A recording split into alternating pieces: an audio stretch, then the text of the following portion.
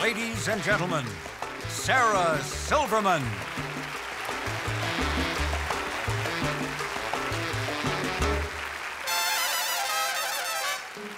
I was 16 and I had just come home from seeing Roxanne.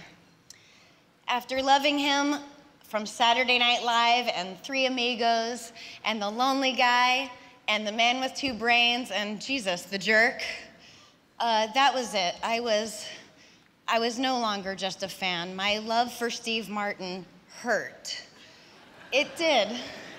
It was just all too much. Uh, this is a picture of my bedroom ceiling written in pencil that night, and it's actually still there today.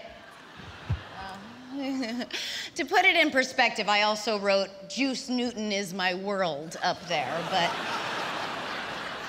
I uh, actually got to meet him and even get to know him a little bit, and I was able to see that he's not just this silly comic genius, but a real person a real stiff, awkward, aloof person, but also standoffish.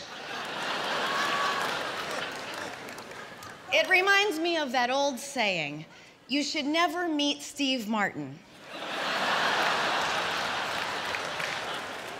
You see, the thing about Steve is he has nothing to prove. He's unafraid of being aggressively silly, but through that silliness transcends a brilliance that leaves all other comics, comics with so much to prove, dumbfounded. Steve Martin has taught us that comedy isn't pretty, it's art.